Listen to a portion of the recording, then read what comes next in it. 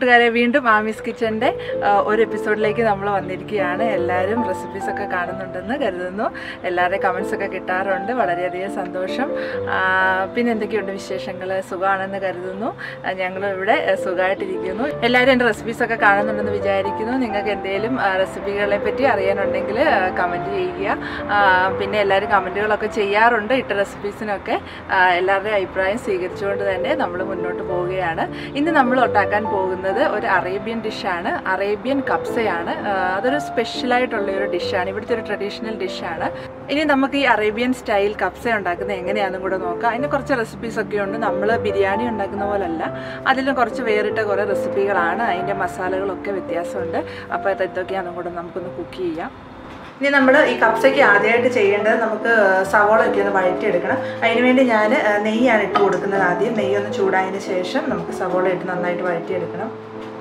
ഈ സവോളയാണ് നമ്മൾ യൂസ് ചെയ്യുന്നത്. വൈറ്റ് സവോളയാണ്. ഇതിപ്പോൾ നമുക്ക് നമ്മൾ കപ്സ ഉണ്ടാക്കാൻ തുടങ്ങുമ്പോൾ നമുക്ക് അന്വേഷിച്ചിട്ട് കിട്ടിയില്ലെങ്കിൽ മറ്റേ സവോള യൂസ് ചെയ്യാം. പക്ഷേ ഇതായിരിക്കും അതിന്റെ കറക്റ്റ് ഒരു ട്രഡീഷണൽ ടേസ്റ്റ് വരുന്ന ഈ സവോളയായിരിക്കും. ഞാൻ ആ സവോള ഇവിടെ നന്നായിട്ട് ഒന്ന് ഈ ഒരു വലുപ്പത്തിലൊന്ന് അരിഞ്ഞു വെച്ചിട്ടുണ്ട്. ഒരു വലിയ സവോളയാണ്. പിന്നെ കുറച്ച് ക്യാരറ്റ് ഒരു ഒരു ഹാഫ് ക്യാരറ്റ് മതി. ഹാഫ് ക്യാരറ്റ് ഇതുപോലെ ഒന്ന് ഷ്രെഡ് ചെയ്ത് വെച്ചിട്ടുണ്ട്. ഇതിന് നമുക്ക് നെയ്യിലിട്ട് നന്നായിട്ടൊന്ന് വഴറ്റിയെടുക്കണം. അപ്പോൾ നെയ്യ് ഒഴിച്ച് നന്നായിട്ട് ഉരുകി വന്നിട്ടുണ്ട്. നമുക്ക് അതിലേക്ക് നമ്മൾ അരിഞ്ഞു വെച്ച സവോളയും ക്യാരറ്റും കൂടി ഇട്ട് കൊടുക്കാം.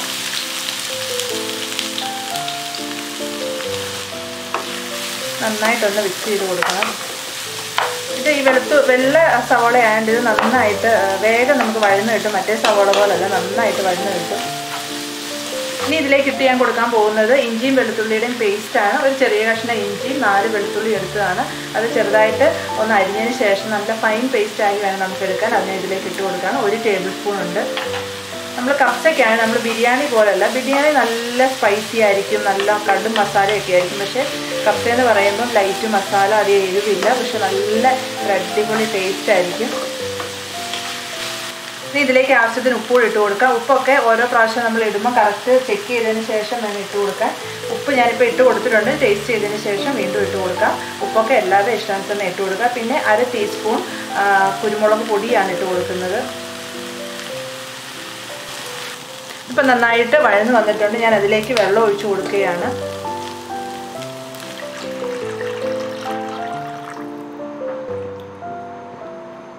ഇതൊന്ന് തിളച്ച് വന്നതിന് ശേഷം നമ്മൾ ഒന്നുകൂടെ ഒന്ന് ഉപ്പ് ചെക്ക് ചെയ്യണം. കാരണം നമ്മൾ ചിക്കൻ ഇതിലിട്ട് വേവിക്കാനാണ് ആദ്യം പോകുന്നത്. അതുകൊണ്ട് നമ്മൾ നന്നായിട്ടൊന്ന് ഉപ്പ് ചെക്ക് ചെയ്തതിന് ശേഷം വേണം ചിക്കൻ ഇട്ട് കൊടുക്കാൻ. ഇതിപ്പോൾ ഞാനൊരു ഫുൾ ചിക്കനാണ് എടുത്തിരിക്കുന്നത്. നല്ല ക്ലീൻ ചെയ്തെടുത്തിട്ടുണ്ട്. ഇതൊന്ന് ഇടയ്ക്കൂടെ ഒന്ന് ഇതുപോലെ ഒന്ന് വരഞ്ഞു വിട്ടിട്ടുണ്ട്. ഫുള്ളൊന്ന് മസാലയൊക്കെ നല്ലതായിട്ട് പിടിക്കാൻ വേണ്ടിയാണ് ഇവിടെ ഒക്കെ നന്നായിട്ടൊന്ന് വരഞ്ഞു വിട്ടിട്ടുണ്ട്.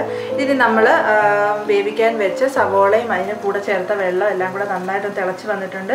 ഞാൻ ഉപ്പ് ആവശ്യത്തിന് ചെക്ക് ചെയ്തിട്ട് ഇട്ട് കൊടുത്തിട്ടുണ്ട്. ഇനി നമ്മൾ ഈ ചിക്കൻ ഞാൻ ഈ ചിക്കൻ ഫുൾ ചിക്കൻ ഹാഫായിട്ടാണ് എടുത്തിരിക്കുന്നത്. രണ്ട് ഹാഫായിട്ടേ മുറിച്ചുള്ളൂ. നമ്മൾ കപ്സയ്ക്ക് എപ്പോഴും അങ്ങനെയാണ് ചെയ്യുന്നത്. നല്ല ഒരു അറേബ്യൻ സ്റ്റൈൽ കപ്സയാണ്. നല്ല സ്പൈസി ആണെന്ന് ചോദിച്ചാൽ നമ്മുടെ കുരുമുളകിന്റെയൊക്കെ സ്പൈസ് ഉണ്ട് താനും. എന്നാൽ അധികം എരിവും ഇല്ല. ഇതിനി നന്നായിട്ടൊന്ന് ഈ വെള്ളത്തിൽ കിടന്ന് നന്നായിട്ട് ഉപ്പും ആ ടേ നെയ്യുടെ ടേസ്റ്റൊക്കെ ഒന്ന് പിടിക്കണം. അതുവരെ ഒന്ന് നമുക്കൊന്ന് മൂടി വെച്ച് വേണം വേവിക്കാൻ. നമ്മൾ ചിക്കൻ ഇട്ട് കൊടുത്തിട്ടുണ്ട്. ഇതിലേക്ക് ഞാൻ ഒരു ടേബിൾ സ്പൂൺ കുരുമുളക് ഇട്ട് കൊടുക്കുകയാണ്. അതിന്റെ ആ കുരുമുളകിന്റെ ടേസ്റ്റ് ഒക്കെ ഒന്ന് പിടിക്കാൻ വേണ്ടിയാണ് നമ്മൾ ഇങ്ങനെ ചെയ്യുന്നത്. ഇപ്പം നമ്മുടെ ചിക്കൻ നന്നായിട്ട് വെന്ത് അതിന്റെ വെള്ളമൊക്കെ കുറേ പറ്റിയിട്ടുണ്ട്. നല്ലതായിട്ട് ഉപ്പൊക്കെ ഞാൻ ഇടയ്ക്ക് ചെക്ക് ചെയ്തായിരുന്നു. ഉപ്പൊക്കെ കറക്റ്റാണ് ഇതിന് നമുക്കൊന്ന് ഇതിന്റെ അകത്ത് നിന്ന് കോരി മാറ്റണം.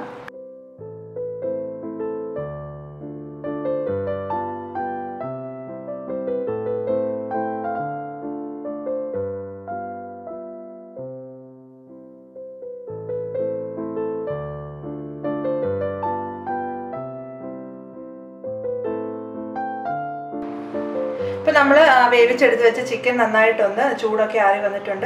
ഇതിലേക്ക് നമ്മളിതൊന്ന് ഒന്ന് ഒത്തിരി ഡീപ് ഫ്രൈ അല്ല ഒന്ന് മൊരിച്ചെടുക്കുകയാണ്. നമ്മൾ ഓൾറെഡി വെന്ത ചിക്കനാണ് ഒന്ന് മൊരിച്ചെടുക്കുകയാണ്. അതിനുവേണ്ടി ഞാനിപ്പം കുറച്ച് ഫുഡ് കളറാണ് യൂസ് ചെയ്യുന്നത്.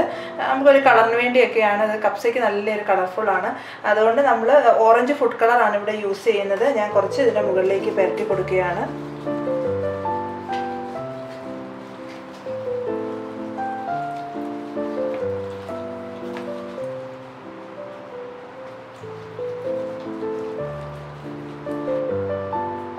ടീസ്പൂൺ കുരുമുളക് പൊടി കൂടെയാണ് ഞാൻ എന്റെ മുകളിലേക്ക് തേച്ച് കൊടുക്കുന്നത്. ഇതെല്ലാം ഒന്ന് തേച്ച് കൊടുത്തതിന് ശേഷം നമ്മൾ റെസ്റ്റ് ചെയ്യാൻ വെക്കുകയാണ്. അത് പത്ത് മിനിറ്റ് റെസ്റ്റ് ചെയ്തതിന് ശേഷം ഒന്ന് ലേശ എണ്ണ ഒഴിച്ച് അതിലൊന്ന് ഒന്ന് ഡ്രൈ ആക്കി എടുക്കാം നമുക്ക്. ഒരു ടീസ്പൂൺ ഇഞ്ചിയും വെളുത്തുള്ളിയും പേസ്റ്റ്.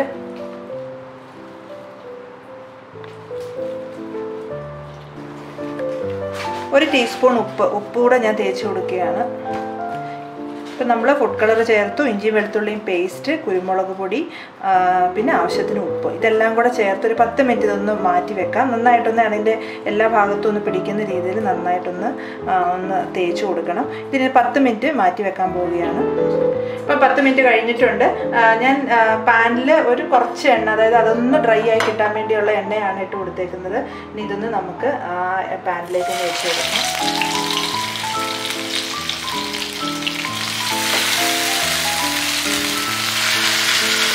എല്ലാ വശവും ഒന്ന് തിരിച്ച് മറിച്ച് ഇട്ട് കൊടുക്കുക. എന്നാൽ ഒത്തിരി അങ്ങ് ഡ്രൈ ഒന്നും ആയി പോകരുത് കരിഞ്ഞു പോകരുത്.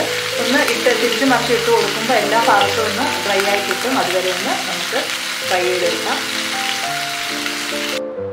ഇപ്പോൾ നമ്മൾ ഫ്രൈ ആക്കാൻ വെച്ച ചിക്കൻ റെഡി ആയിട്ടുണ്ട്. ഞാൻ അതിൽ നിന്ന് എടുത്ത് മാറ്റി ഒരു അഞ്ച് മിനിറ്റ് ലെസ് ദാൻ ഫൈവ് മിനിറ്റ്സേ ഉള്ളൂ. ഇതൊന്ന് തിരിച്ചു മറിച്ച് ഇട്ടൊന്ന് ഡ്രൈ ആക്കി എടുക്കണം.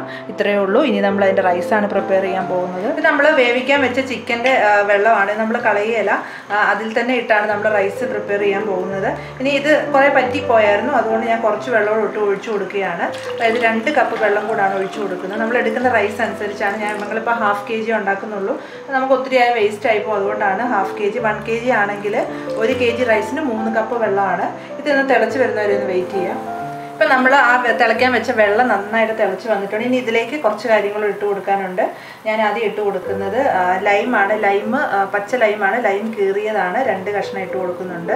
പിന്നെ ഇട്ട് കൊടുക്കുന്നത് ഡ്രൈ ലെമൺ ആണ്. ഇത് ഇതാണ് നമ്മുടെ കപ്സയുടെ മെയിൻ ഒരു ഐറ്റം.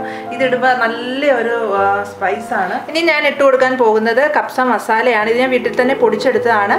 ഇതിന്റെ ഇൻഗ്രീഡിയൻസ് ഞാൻ ഡിസ്ക്രിപ്ഷൻ ബോക്സിൽ ആഡ് ചെയ്തിട്ടുണ്ട്. എല്ലാവരും ചെക്ക് ചെയ്തതിന് ശേഷം പുറത്തേ നമ്മൾ മേടിക്കുവാണെങ്കിലും കുഴപ്പമില്ല. ഇപ്പോൾ വീട്ടിൽ പൊടിച്ചെടുത്തതാണ്. പുറത്തിന്റെ അതേ ഇൻഗ്രീഡിയൻസ് തന്നെയാണ് യൂസ് ചെയ്ത് നമ്മൾ വീട്ടിൽ പൊടിച്ചെടുത്തത്. ഒരു ടീസ്പൂൺ ഇട്ട് കൊടുക്കുകയാണ്.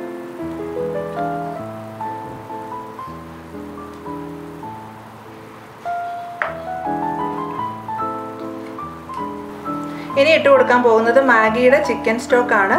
ഇത് ഓപ്ഷനാണ് ഇട്ടില്ലെങ്കിലും കുഴപ്പമില്ല. കാരണം ഓൾറെഡി നമ്മൾ ചിക്കൻ വെന്ത വെള്ളമാണ്. അപ്പം ഒരു ഇച്ചിരി ഒരു ടേസ്റ്റ് മേക്കർ ആയിട്ടാണ് നമ്മൾ ചിക്കൻ സ്റ്റോക്ക് ഇട്ട് കൊടുക്കുന്നത്. ഒരു ഒരു സ്റ്റോക്ക് ഇട്ട് കൊടുക്കുന്നുണ്ട്.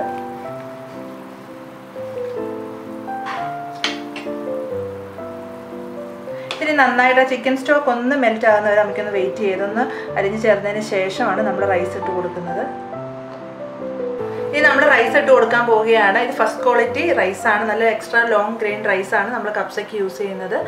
ഇതിപ്പോൾ പതിനഞ്ച് മിനിറ്റ് ഞാൻ വെള്ളത്തിൽ കുതിച്ച് വെച്ചതാണ്. ഇതിപ്പോൾ നന്നായിട്ട് വെള്ളം ഒന്ന് കളഞ്ഞതിന് ശേഷം നമുക്കതിലേക്ക് ഇട്ട് കൊടുക്കാം.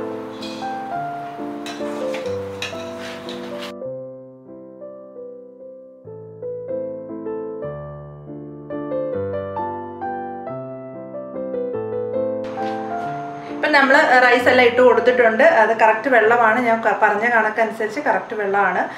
ഇനി ആ വെള്ളം ഒന്ന് പറ്റി റൈസ് ഒന്ന് വെന്ത് വരുന്നതാണ് നമ്മുടെ പാകം നമ്മൾ ബിരിയാണി ഉണ്ടാക്കുന്ന പോലെ പിന്നെ നമ്മൾ ദം ഒന്നും ചെയ്യുന്നില്ല. അതുകൊണ്ട് ഹൺഡ്രഡ് പെർസെന്റേജ് വെന്തതിന് ശേഷം മാത്രമേ ഈ ബാക്കി ഇനി ഇൻകേസ് വെള്ളം നമ്മൾ വെച്ച കൂട്ടത്തിൽ കൂടിയിട്ടുണ്ടെങ്കിൽ അതൊന്ന് പിഴിയുള്ള പാത്രത്തിലിട്ട് നന്നായിട്ടൊന്ന് അരിച്ചു മാറ്റിയാൽ മതി.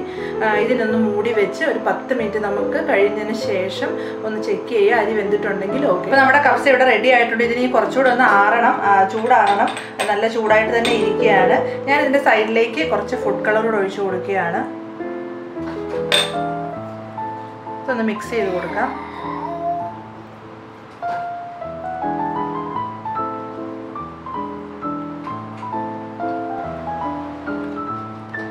ഇനി നമ്മൾ സ്മോക്ക് ചെയ്തെടുക്കാൻ പോവുകയാണ്. ഞാൻ കുറച്ച് ചാർക്കോൾ ഒരു ബൗളിലാക്കി വെച്ചിട്ടുണ്ട്. ഒരു ഫോയിലിന്റെ മുകളിലാണ്. അതിലേക്ക് ഒരു ലേശം വെള്ളം കൂടെ നമുക്ക് ഒഴിച്ചു കൊടുക്കാം. എന്നിട്ടൊന്ന് നമുക്കൊന്ന് കവർ ചെയ്ത് വെക്കണം ഇത്. ഇപ്പം നമ്മൾ സ്മോക്ക് ചെയ്ത് കഴിഞ്ഞ് ഒരു അഞ്ച് മിനിറ്റ് സ്മോക്ക് ചെയ്യാൻ വെച്ചായിരുന്നു. അതിന്റെ ആ സ്മെല്ലൊക്കെ നന്നായിട്ട് ചോറിലേക്ക് ഇറങ്ങിയിട്ടുണ്ട്. അത് കഴിഞ്ഞ് ഒരു പത്ത് പതിനഞ്ച് മിനിറ്റോളം നമ്മളൊന്ന് ചൂടാറണം നന്നായിട്ട്. നമുക്ക് ചോറ് ഇതുപോലെ സെപ്പറേറ്റ് ആയി കിട്ടാൻ വേണ്ടി നന്നായിട്ടൊന്ന് ചൂടാറി കിട്ടണം. ചൂടാറിയതിന് ശേഷം ഞാനൊരു പ്ലേറ്റിലേക്ക് സെർവിങ് പ്ലേറ്റിലേക്ക് റെഡി ആക്കിയിരിക്കുകയാണ്. ഇനി നമ്മൾ ചിക്കൻ വെച്ച് കൊടുക്കുകയാണ്. നമ്മൾ ഫ്രൈ ചെയ്ത് വെച്ച ചിക്കൻ ഉണ്ട്. അതുകൊണ്ട് നമുക്കൊന്ന് സെറ്റ് ചെയ്ത് കൊടുക്കാം ഇതിലേക്ക്. നല്ല നമുക്ക് ഗസ്റ്റൊക്കെ വരുമ്പോൾ നല്ലതായിട്ട് അവരെ ഒന്ന് ഇമ്പ്രസ് ചെയ്യാൻ പറ്റിയ ഒരു റെസിപ്പിയാണ്. നമ്മൾ പുറത്തു നിന്നൊക്കെ മേടിച്ച് കഴിച്ച് നമുക്കറിയുള്ളൂ. പക്ഷേ ഇത് നല്ലൊരു റെസിപ്പിയാണ്. ഈസിയാണ്. കപ്സ് നമ്മൾ ബിരിയാണി പോലല്ല നല്ല ഈസി ഒരു റെസിപ്പിയാണ് വേഗം നമുക്ക് ഉണ്ടാക്കി എടുക്കാനും പറ്റും. ഇതിന് ഞാൻ കുറച്ച് കിസ്മിസും കാഷ്നട്ടും കൂടെ ഒന്ന് എണ്ണയിൽ വറുത്ത് വെച്ചായിരുന്നു. അതുകൂടെ ചേർത്ത് നമുക്കൊന്ന് ഗാർണിഷ് ചെയ്ത് കൊടുക്കാം.